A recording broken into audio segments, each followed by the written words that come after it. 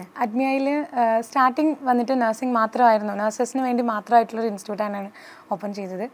പക്ഷേ ഇപ്പോൾ നമുക്ക് പ്ലസ് ടു കഴിഞ്ഞ സ്റ്റുഡൻസ് ഗ്രാജുവേറ്റ്സ് ഡിഗ്രി സ്റ്റുഡൻസിനവർക്കൊക്കെ വേണ്ടിയിട്ട് I L T S O T German P T E TOEFL അങ്ങനെ ഓൾമോസ്റ്റ് എല്ലാ ലാംഗ്വേജ് ട്രെയിനിങ് കോഴ്സസും അവൈലബിൾ ആണ്. ഓക്കെ ഇത് ഏത് ഇയറിലാണ് സ്റ്റാർട്ട് ചെയ്തത് ആക്ച്വലി ടു തൗസൻഡ് ട്വന്റി വണ്ണിലാണ് നമ്മൾ ഇൻസ്റ്റിറ്റ്യൂട്ട് സ്റ്റാർട്ട് ചെയ്യുന്നത്. അപ്പോൾ ഒരു നേഴ്സായിട്ടുള്ള സാറ് എങ്ങനെയാണ് ഈ നഴ്സിംഗിൽ ഒരുപാട് നഴ്സുമാരെ നമ്മൾ പുറം രാജ്യങ്ങളിലേക്ക് വിടുന്ന രീതിയിൽ കോഴ്സുകൾ പഠിപ്പിക്കുന്ന ഒരു സ്ഥാപനത്തിന്റെ ഡയറക്ടറായിട്ട് മാറിയത്? ആ ഒരു സ്റ്റോറി എന്താണ്? ആക്ച്വലി എന്റെ വൈഫ് നേഴ്സാണ് ഓക്കെ അപ്പം ഞാൻ എന്റെ വൈഫിനെ കൊണ്ടൊരു ഒയിറ്റ് പഠിപ്പിക്കാൻ വേണ്ടി കോട്ടയത്ത് ഒരു സ്ഥാപനത്തിൽ കൊണ്ടാക്കി ആക്ച്വലി അവൾ വന്ന് പറഞ്ഞു ക്ലാസ്സിന്റെ കാര്യങ്ങൾ. അപ്പോൾ ക്ലാസ്സിലൊക്കെ ഒരു എൺപത് തൊണ്ണൂറ് പേരൊക്കെ ഒരു ക്ലാസ്സിൽ ഇരിക്കുന്നത് അപ്പോൾ അവർക്ക് ആ ഇൻഡിവിജ്വൽ അറ്റൻഷനോ കാര്യങ്ങളൊന്നും കിട്ടുന്നില്ല. അപ്പോൾ അത് ഒരാഴ്ച കഴിഞ്ഞപ്പോൾ അവൾ അത് ഡ്രോപ്പ് ചെയ്തു. എനിക്ക് പറ്റത്തില്ല എന്നുള്ള രീതിയിലാക്കി. അപ്പോൾ അങ്ങനെ ഞങ്ങൾ ഇരിക്കുന്ന സമയത്താണ് നമുക്കൊന്ന് ഒരെണ്ണം സ്റ്റാർട്ട് ചെയ്താലോ എന്ന് എന്നോട് അവൾ ചോദിച്ചത്. അപ്പോൾ ഞാൻ പറഞ്ഞു ഓക്കെ നമുക്ക് നോക്കാം. അപ്പോൾ എന്റെ ഒരു ഫ്രണ്ട് ഉണ്ട്. അവൾ ആൾ നേഴ്സാണ് അപ്പോൾ ആളോട് ഞാൻ ഇങ്ങനെ സംസാരിച്ച് ആൾ സംസാരിച്ച് കഴിഞ്ഞപ്പോൾ ആൾ പറഞ്ഞു ഓക്കെ നമുക്ക് നോക്കാടാ. നമുക്കൊന്ന് ഇതാക്കാം എന്നുള്ള രീതിയിൽ നോക്കി ഞങ്ങൾ അങ്ങനെ ഒരു കോട്ടയത്ത് കാരിത്താസ് ജംഗ്ഷൻ തെള്ളകം എന്ന് പറയും. അവിടെ ഒരു ചെറിയൊരു റൂം എടുത്ത് സ്ഥാപനം സ്റ്റാർട്ട് ചെയ്തു. അഡ്മി ഇന്റർനാഷണൽ അക്കാഡമി എന്ന് പറഞ്ഞ് സ്ഥാപനം സ്റ്റാർട്ട് ചെയ്തു. ഒരു കുഞ്ഞൊരു നൂറ്റമ്പത് സ്ക്വയർ ഫീറ്റ് ഉള്ള ഒരു ക്ലാസ് റൂം ഇടാൻ ആദ്യം നമ്മൾ ഒ ആണ് തുടങ്ങുന്നത് അത് ഒരു ചെറിയൊരു ക്ലാസ് റൂമും ഒരു ട്യൂട്ടറും എന്നുള്ള നിലയ്ക്ക് ഞങ്ങൾ സ്റ്റാർട്ട് ചെയ്തു. ആദ്യം ഒരു മൂന്ന് അല്ലെ അഞ്ച് സ്റ്റുഡൻസ് കൂടുതൽ വന്നിട്ടില്ല. പിന്നെ അവരുടെ ഫ്രണ്ട്സിനോടൊക്കെ പറഞ്ഞ് അവരങ്ങനെ കുറച്ച് ഫ്രണ്ട്സൊക്കെ സർക്കിളിൽ വന്നു. വന്നു കഴിഞ്ഞ് അവരെല്ലാവരും അച്ചീവ് ചെയ്തു. ബി സ്കോർ നേടി അവരിപ്പം എല്ലാവരും ഓസ്ട്രേലിയയിലും ന്യൂസിലൻഡിലും യു കെയിലൊക്കെ ആയിട്ട് വർക്ക് ആ ഫസ്റ്റ് തന്നെ. ഇത് അപ്പം നമുക്ക് ആദ്യം തന്നെ നമ്മൾ സ്റ്റാർട്ടിങ് ആകുമ്പോൾ നമ്മൾ അത്ര നല്ല ഒരു ഫാക്കൽറ്റീനെ എടുക്കുകയുള്ളൂ. എന്നുവെച്ചാൽ നമുക്ക് വളർന്ന് വരണമല്ലോ അതുകൊണ്ട് നല്ലൊരു ഫാക്കൽറ്റീനെ എടുത്ത് നല്ല ക്ലാസ് ഇൻഡിവിജ്വൽ അറ്റൻഷനോട് കൂടി ക്ലാസ് കൊടുത്ത് അവർ ഒരു നാലഞ്ച് പേരോളം ഒറ്റയടിക്ക് തന്നെ പാസ്സായി ഒരു ത്രീ മന്ത് കോഴ്സ് കൊടുത്ത് ഒറ്റയടിക്ക് തന്നെ പാസ്സായി കഴിഞ്ഞപ്പോഴത്തേന് അപ്പോൾ ഞങ്ങൾ ഓർത്ത് എന്നാൽ പിന്നെ ഇത് നമുക്ക് ഇച്ചിരി കൂടെ ഡെവലപ്പ് ചെയ്യാമെന്നുള്ള രീതിയിൽ. അതായത് ഇപ്പം നമ്മൾ നേഴ്സ് ആകുമ്പോൾ നമുക്കൊരു നേഴ്സിന്റെ കഷ്ടപ്പാടുകളും ദുരിതങ്ങളും ഓരോരോ പ്രോബ്ലംസ് ഉണ്ടല്ലോ. അതൊക്കെ നമുക്ക് അറിയാൻ പറ്റും. മനസ്സിലായില്ലേ? ഓ ആക്ച്വലി നേഴ്സ് ആകണമെന്നില്ല ഒരു പേഷ്യന്റ് ആയാലും പേഷ്യന്റിനും അറിയാൻ പറ്റും ഒരു നേഴ്സിന്റെ കഷ്ടപ്പാട്.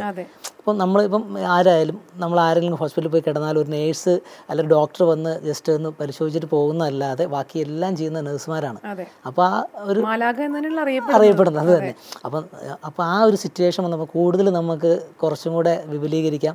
ചെറിയൊരു എമൗണ്ട് ഇട്ട് കുറച്ചൊരു പൈസ നമുക്ക് ഓടിപ്പോണമല്ലോ. ബിസിനസ് ആകുമ്പോൾ തന്നെ റൂം റെന്റ് കൊടുക്കണം ഫാക്കൽറ്റിക്ക് ക്യാഷ് കൊടുക്കണം റിസപ്ഷനിസ്റ്റിന് ക്യാഷ് കൊടുക്കണം ചെറിയ ചെറിയ ഇത്. അപ്പോൾ ചെറിയൊരു എമൗണ്ട് കൊടുത്ത് നമ്മൾ പിള്ള നേഴ്സുമാരെ പാസ്സാക്കുക എന്നുള്ള ഒരു രീതിയിലാണ് ഞങ്ങളത് സ്റ്റാർട്ട് ചെയ്തത്. ഇപ്പോൾ ഏകദേശം കോട്ടയത്തും കാരിത്താസ് കോട്ടയം ലോഗോസ് ജംഗ്ഷനിലും കാരിത്താസ് ജംഗ്ഷനിലുമായിട്ട് രണ്ട് സ്ഥാപനങ്ങൾ നല്ല രീതിയിൽ ഹൺഡ്രഡ് പെർസെന്റ് സക്സസ് ഗ്യാരണ്ടിയോടെ പോകുന്നുണ്ട്. അപ്പോൾ എന്തായാലും സാറ് പറഞ്ഞ പോലെ സാറിന്റെ വൈഫിന് കിട്ടാവുന്ന ആ ഒരു ലാക്ക് ഓഫ് ക്വാളിറ്റി എഡ്യൂക്കേഷൻ അല്ലെങ്കിൽ ലാക്ക് ഓഫ് ക്വാളിറ്റി സർവീസ് ആണ് ആക്ച്വലി ഈ ഒരു ഡയറക്ടർ എന്ന് പറഞ്ഞ ഒരു സ്റ്റേജിലേക്ക് എത്താൻ കാരണമായിട്ടുള്ളത്. അപ്പം മേ ബി അത്രയധികം സ്ട്രഗിൾസ് ഒന്നും ഉണ്ടായിട്ടുണ്ടാവില്ല.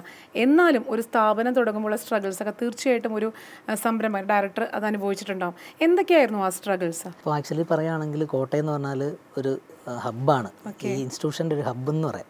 അപ്പോൾ അവത്തിൽ നിന്ന് വളർന്നു വരിക എന്ന് പറഞ്ഞാൽ വലിയൊരു ഇതാണ്. മനസ്സിലായില്ലേ? അപ്പോഴത്തേക്ക് ഇപ്പം ഞങ്ങൾ നേഴ്സ് ആയതുകൊണ്ട് അവിടെ ഓരോ ഹോസ്പിറ്റലുകളുണ്ട്. അപ്പോൾ ചെറുതായിട്ട് നമ്മൾ തന്നെ ഒരു ചെറിയൊരു നോട്ടീസും പിടിച്ച് ഒ ടി ഐ എൽസ് പഠിപ്പിക്കുന്ന ഒരു സ്ഥാപനം ഉണ്ട് എന്നൊക്കെ പറഞ്ഞ് ഞങ്ങൾ തന്നെ സ്റ്റാർട്ട് ചെയ്തു. അങ്ങനെയാണ് ഇത് സ്റ്റാർട്ട് ചെയ്യുന്നത്. അത് ഇടയ്ക്കും നമുക്ക് ഒത്തിരി പ്രശ്നങ്ങൾ അതിനിടയ്ക്ക് ഉണ്ട് എങ്കിലും നമ്മൾ ചെറിയ രീതി വഴി റിസൾട്ടായി വന്നു കഴിഞ്ഞപ്പോഴത്തേന് നമ്മളത് ഓട്ടോമാറ്റിക്കായിട്ട് നമുക്ക് സ്റ്റുഡൻസ് വരാൻ തുടങ്ങി. അതായത് നമ്മുടെ റിസൾട്ട് അതെ അതെ അതെ. മൗത്ത് പബ്ലിസിറ്റി വഴി നമുക്ക് നല്ല സ്ഥാപനമാണെന്ന് പറഞ്ഞു പറഞ്ഞാണ് നമുക്ക് കുട്ടികൾ വരാൻ തുടങ്ങി അപ്പം അവരുടെയാണ് ഏറ്റവും വലിയത് നമ്മൾ പരസ്യം ചെയ്യുന്നതിലൊന്നും കാര്യമില്ല.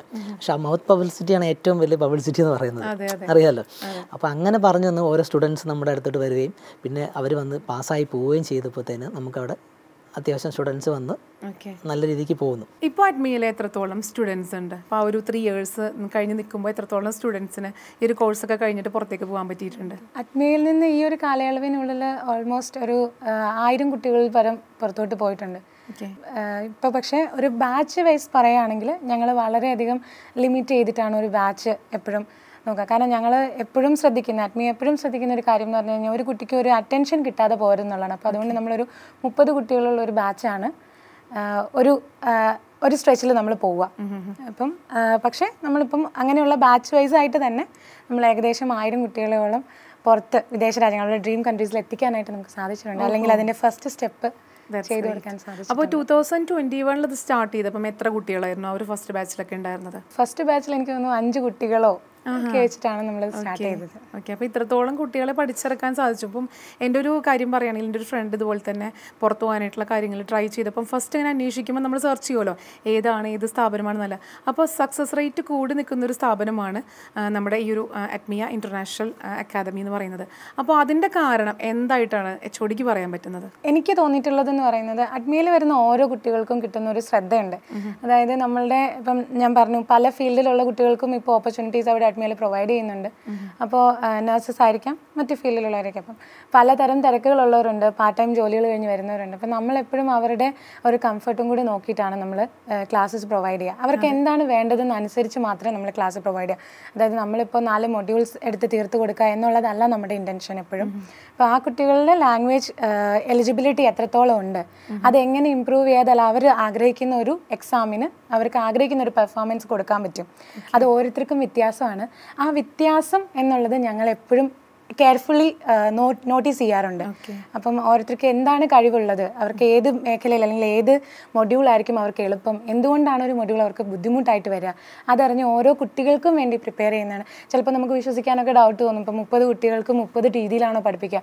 അങ്ങനെ തന്നെയാണ് പഠിപ്പിക്കേണ്ടത്. കാരണം മുപ്പത് കുട്ടികളും മുപ്പത് ഇൻഡിവിജ്വൽസ് ആണ് അപ്പോൾ ആ രീതിയിൽ തന്നെയാണ് നമ്മൾ പഠിപ്പിക്കുന്നത്. ഓരോ കുട്ടിക്കും എന്ത് കൊടുത്താലാണ് ഇവർക്ക് പെർഫോമൻസ് അത് ഇൻഡിവിജ്വൽ കെയർ അറ്റൻഷൻ കൊടുത്തിട്ടാണ് ഓരോ കുട്ടികളും ഇതിൽ പഠിപ്പിച്ചിട്ട് നിങ്ങൾ പുറത്തിറക്കി ഇപ്പോൾ പറഞ്ഞ ഡ്രീം സ്ഥലത്തേക്ക് പോകാനായിട്ട് അവരെ സഹായിക്കുന്നത് അല്ലെ? ജോലിയുടെ ആയിട്ട് പോയി പോകാൻ സഹായിക്കുന്നത്.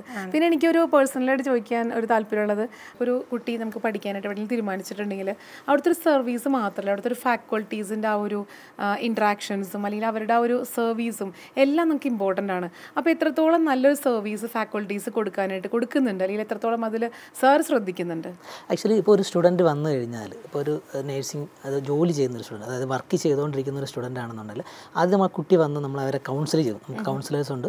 അവർ കൗൺസിൽ ചെയ്യും. അവർക്ക് എന്താണ് ആവശ്യം? അവരുടെ കാര്യങ്ങൾ എന്താണ്? അവർക്ക് വീട്ടിൽ പഠിക്കാനുള്ള സാഹചര്യം ഉണ്ടോ? അല്ലെങ്കിൽ അവർക്ക് എത്ര ലാംഗ്വേജ് എത്രയുണ്ട്? ലാംഗ്വേജ് റീസൺ ലോജിക്ക് ഈ ഒരു ക്രൈറ്റീരിയയിലാണ് നമ്മുടെ ക്ലാസ്സുകൾ പോകണം.